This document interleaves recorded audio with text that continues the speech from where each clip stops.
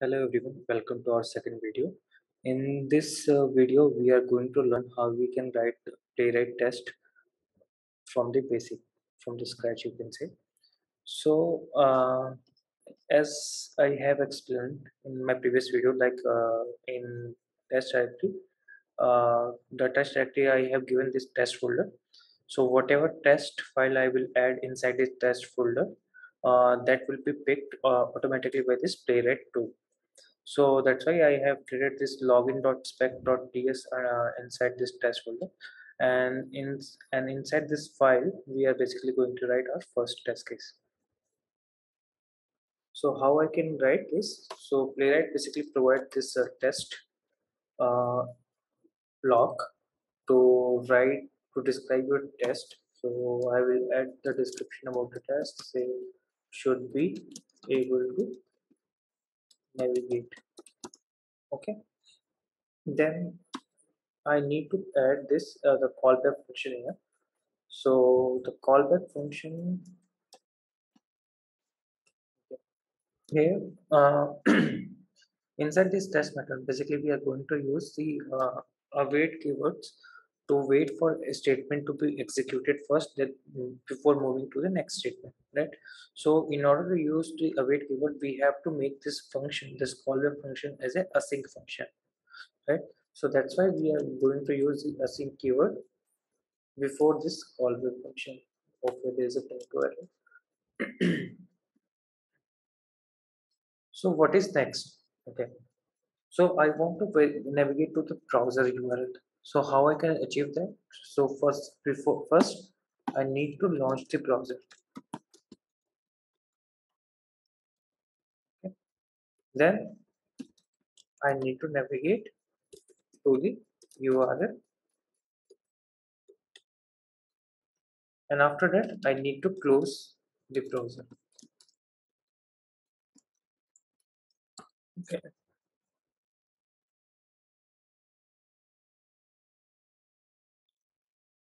so basically um, so in order to launch the browser so you there there are two ways that playwright provides. Either you can use the global variable which playwright uh, provides or you can launch the browser by uh, by yourself inside this uh, test method okay? So whenever this test method will be executed as uh, so there will be a before and after uh, block or you can say the hooks which will which will invoke the browser and close the browser once that this uh, task will be executed. Okay so how i can access those global variables? So uh, for that i need to pass those global variables inside this uh, async function okay? So how i can access that? I need to use this uh, curly braces. So curly braces is uh, for the object okay? So basically i'm saying i'm passing uh, i'm passing an object to this callback function. Okay. So there is a reference. Okay. So there is a reference for this browser. Okay. So we when whenever we launch the browser we have browser then we after that we have the tab right? And inside this tab basically we are performing the actions like navigating to the URL and then uh, doing the uh, actions like typing or clicking right? So this browser for this so whenever this uh, this playwright will launch the browser for this test so they uh, the object reference for this tab is basically representing this page. So this page is nothing that just a tab of this the of this browser which is getting launched on the run of this test. So now with the help of this page basically you can use this page and uh, and directly navigate to the application with the help of this go to method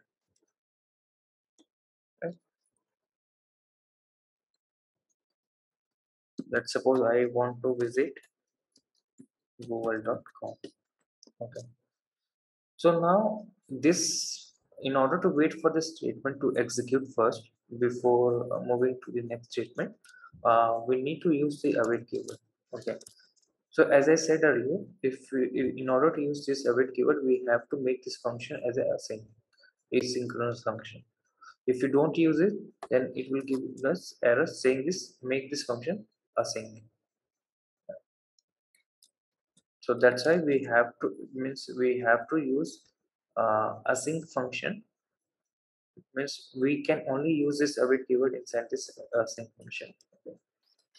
So what if I don't want to use this page uh, fixture uh, directly from the global? Instead, I want to launch a browser based on my requirement. Based on, so let's suppose if I want to run this test with some particular proxy or particular uh, geolocation. So how I can achieve that? So let's see that like how we can achieve that. So in order to launch the browser, we need a we need to understand like what kind of browser type we want to uh, we want to launch browser type like uh, chromium which playwright supports or firefox or safari so once we identify the browser type then we can directly launch the browser using this command. Uh, let's wait launch browser equal to chromium. So first we need to import the chromium from this test library. Okay. Now i have this chromium. So with the help of this chromium i am going to say launch this one okay and inside this uh, launch i can provide the parameters like proxy if I want to run this task on particular proxy, then I can provide this. But as of now, we don't need it, so I will remove this. And I'm just explaining this like as example how you can launch a browser by yourself. Okay. Now the browser is getting launched here, and uh, once we launch the browser, we need to navigate to the URL. But before this, we need to have this reference for this tab right? So how i can get the reference? Using the browser of instance i will say browser dot new page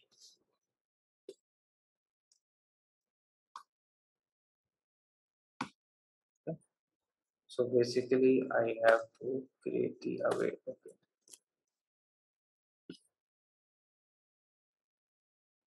Okay the issue is here. I'm not i didn't put the await keyword here so that's it.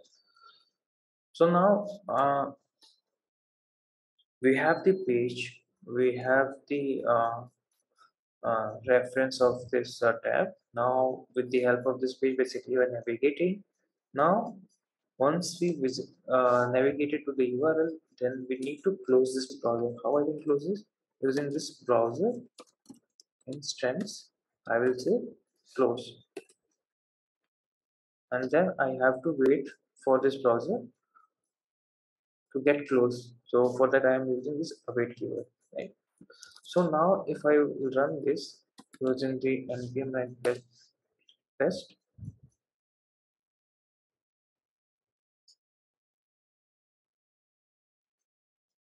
you can see the test case is successfully executed and it got passed. So this is how we can uh, write our test case from the scratch. So in next video we are going to learn how you can run this test case in the headless and headed mode. And uh, further we are going to see like uh, how you, we can optimize this. Instead of writing this in the test method itself we are going to use the before and after each hooks to to launch the browser before the test and, and after the test you can close the browser so we are going to see that uh, uh, steps in the next video. Thanks